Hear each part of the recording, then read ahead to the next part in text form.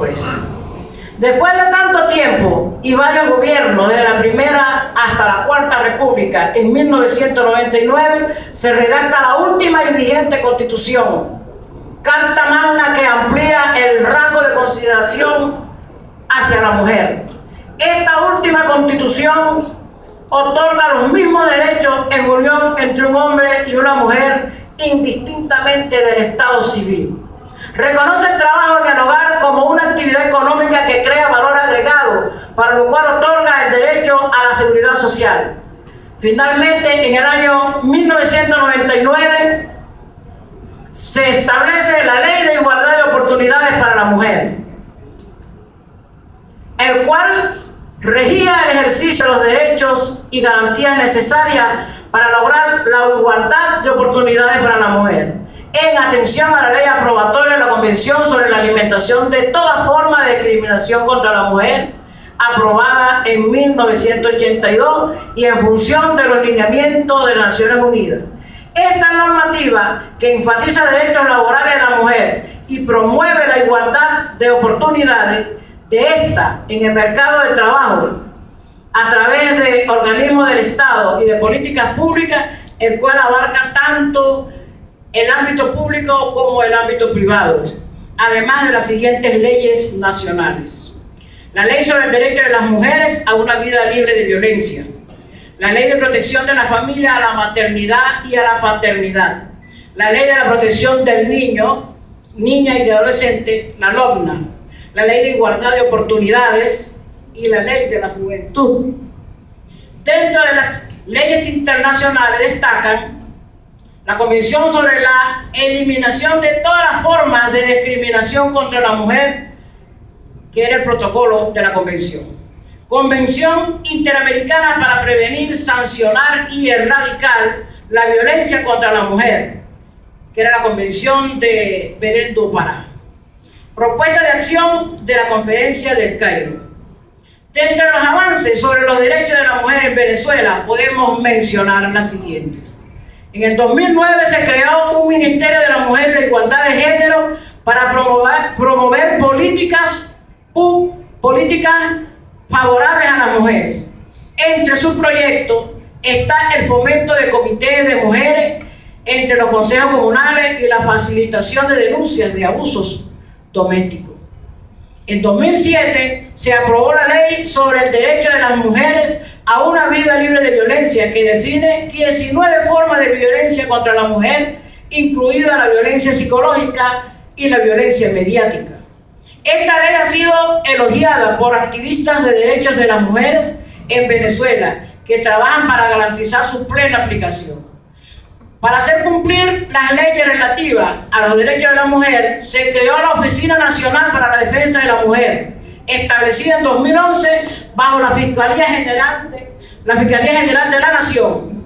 Esta oficina cuenta con 43 agentes del Ministerio Público en 15 oficinas del país. La Constitución venezolana, la cual fue elaborada con la participación de los ciudadanos y ciudadanas promulgada en 1999, prohíbe la discriminación sobre la base del sexo, garantiza los servicios de la planificación familiar, y la asistencia a las madres. Protege la igualdad entre los cónyuges y extiende los beneficios de la seguridad social para las amas de casa. Debido a, que acerca de la mitad de los hogares venezolanos están encabezados por mujeres, muchos de los programas de gobierno para prevenir y erradicar la pobreza, llamados misiones sociales, son enfocados hacia la mujer. Estos programas incluyen Madre de la Patria, que presta ayuda a las mujeres en situación de pobreza extrema. Niño de Jesús para las mujeres embarazadas. E Hijos de Venezuela para las madres de niños pequeños. Venezuela tiene el tercer permiso de maternidad remunerado más largo en el mundo después de Canadá y Noruega. La ley del trabajo desde 2012 da a las mujeres un total de 26 semanas y también obliga a los empleadores a proporcionar a las nuevas madres seguridad laboral e instalaciones adecuadas para el cuidado de los niños y su respectiva lactancia. Va una mujer, va mujer un banco fundado en el 2001 ofrece servicios financieros gratuitos, préstamos y capacitaciones, capacitación para las mujeres en sector, sectores de bajos ingresos. Hasta 2013 ha emitido 145 mil microcréditos y prestado sus servicios a más de 300 mil familias.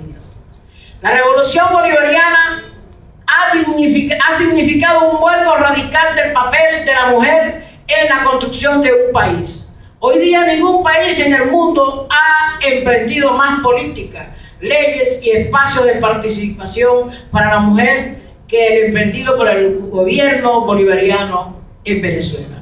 Voy a hacer un, paréntesis aquí para recordarle algo que dijo el, vice, el presidente, expresidente de Uruguay, Pepe Mujica, cuando dice que Venezuela está entre los cuatro países del mundo en donde hay una profunda brecha de desigualdades. A pesar de que nuestro presidente eterno nos ha visibilizado y nuestro presidente obrero Nicolás Maduro ha enfatizado y ha seguido eh, bajo las políticas de gobierno, sumando a las mujeres, dándole participación a las políticas de gobierno, en la gestión y la cogestión. Sin embargo, históricamente nos encontramos como uno de los países que lamentablemente existen profundas brechas de desigualdades. Más nosotros tenemos la firme intención de este sector, de este sector, a apoyar a las mujeres, que bienvenidos sean que quieran venir a, a nuestro sector, a formar parte del Frente de Mujeres luchadoras sociales de, de este sector, que bastante necesitamos ayudar a la política de gobierno en, la, en los temas prioritarios como son el tema económico, el tema de extracción. Sigo a la letra.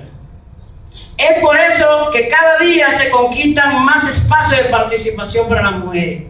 Sectores que hasta la llegada del comandante Chávez y la revolución bolivariana solo eran para hombres. Hoy día es normal ver mujeres participando de manera activa en las áreas sociales, legislativas, laborales y hasta políticas presidente Chávez el 8 de marzo del 2004 manifestó en una convención magistral que existían razones especiales para reunirse alrededor del tema de la mujer, específicamente sobre el rol que las mujeres habían venido juzgando, jugando sobre los momentos que estamos viviendo, sobre la responsabilidad que las mujeres venezolanas han asumido. Y cada día deben asumir con mayor grado de conciencia, de conocimiento, de unidad y de debate.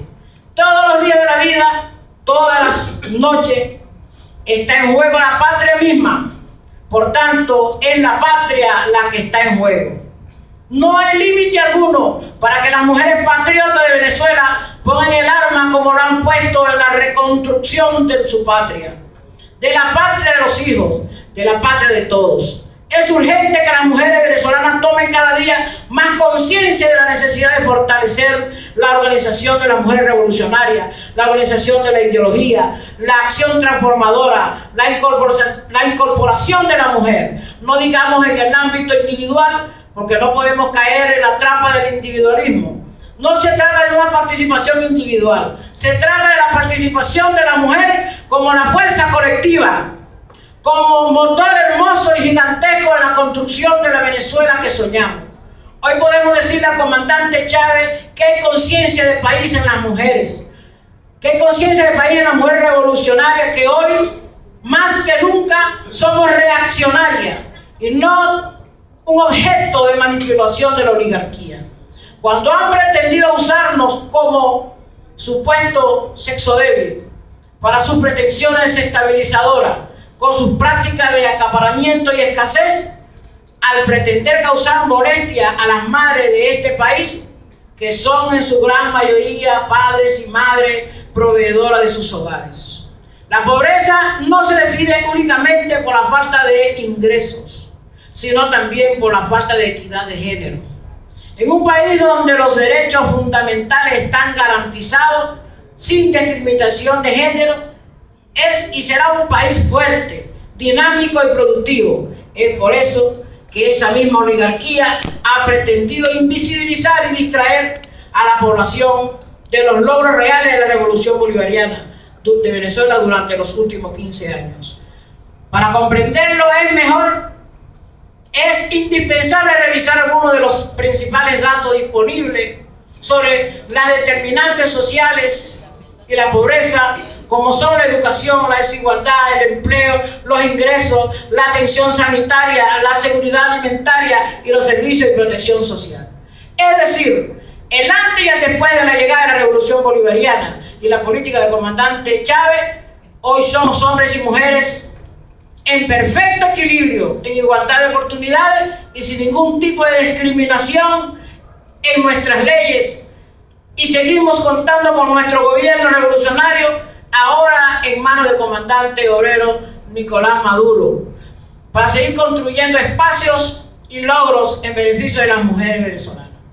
Con el objetivo de sumarse a la defensa de la patria, en la labor que realiza la milicia bolivariana de Venezuela, también las mujeres, también las mujeres de la gran familia del sector construcción, dando relevancia a la participación femenina, su logro y dando reconocimiento a la equidad y a la igualdad de género, forman parte de los cuerpos combatientes de la milicia obrera bolivariana.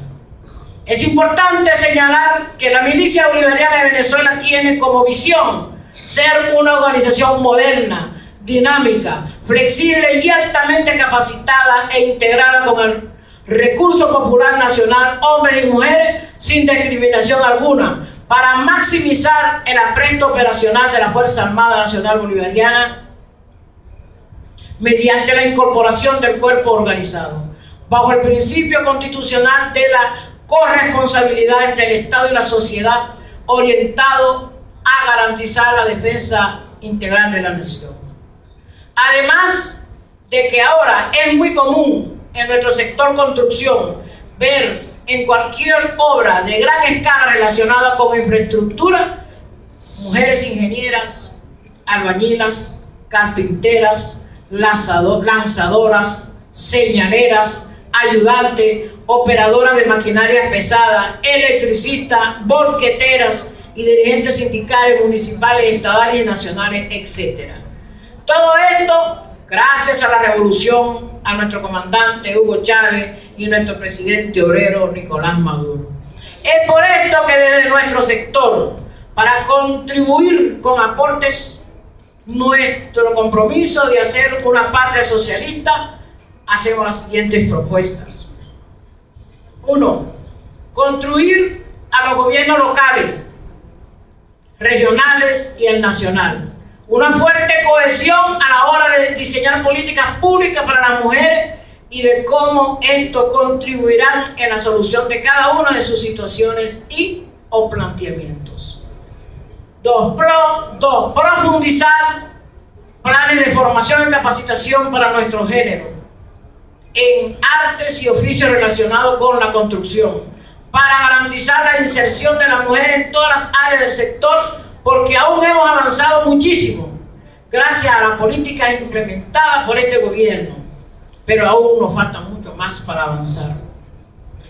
Tres, establecer políticas de seguimiento y control que permitan seguir avanzando en la inserción de mujeres al sector privado laboral de la construcción. Más allá del ámbito de mano de obra rudimentaria, en infraestructura, es decir, en empresas relacionadas al sector, como las productoras de bienes e insumos para el sector y las prestadoras de servicios para el mismo. Cuarto, fortalecer y profundizar espacios para la mujer venezolana en las cadenas productivas de la construcción. Al mismo tiempo, nosotras, trabajadoras del sector construcción, acompañadas siempre de nuestro presidente de la Federación Unitaria Nacional Bolivariana de la Construcción, afines y conexos, Marco Tulio Díaz, y vicepresidente de la Central Bolivariana Socialista de Trabajadores del Campo, la, del campo, la ciudad y la pesca. Y además un hombre feminista, asumimos hoy, una vez más, igual que como en muchas oportunidades lo hicimos con nuestro comandante eterno, Hugo Rafael Chávez Frías, nuestro compromiso revolucionario y patriota de seguir acompañando a su hijo, nuestro presidente obrero, y fortalecer y arreciar, de ser necesario, la defensa de su legado, nuestra herencia como hijo del gigante de América. ¡Viva la patria! ¡Viva Bolívar! ¡Viva Hugo Rafael Chávez Frías! ¡Viva Maduro! ¡Viva las mujeres!